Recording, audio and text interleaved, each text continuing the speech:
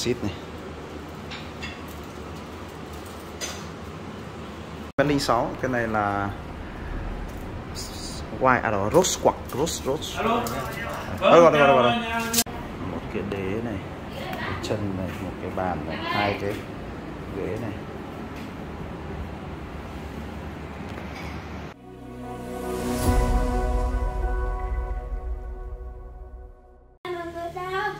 ở đây chúng ta đang có này. một số cái phiếu hơi kỳ lạ. Anh chị ạ biết cái này là cái gì anh chị? Đây là những cái giám định của những cái bức tượng Phật lớn nhá. Tôi làm sản phẩm này cho anh Nguyên Hải Phòng. Và đây tại sao lại như vậy tôi giải thích cho anh chị nhé ở đây chúng tôi có rất nhiều bằng khen anh chị ạ. Không phải không phải bằng khen đây là những cái giám định nhé à, đây là cái uh, giám định cái huy chương vàng của cái mặt Phật hôm trước uh, tôi lấy ở triển lãm này. Còn đây là những cái uh, giám định chứng chứng thư để chứng nhận những bộ bàn ghế bộ bàn ghế này à, bức tượng à, canxit này.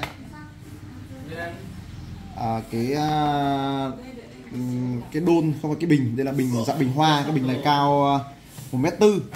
Một bức tượng à, Phật bà quan tâm Bồ Tát. Đấy. Và một cái bức tranh hoa đào bằng ruby.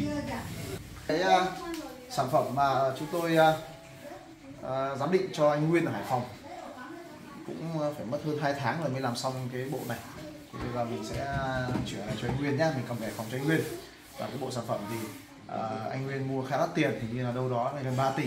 Tất cả bộ sản phẩm này và đây là cái giấy giám định của chứng nhận cho anh là những cái sản phẩm của anh đã quý tự nhiên nhá.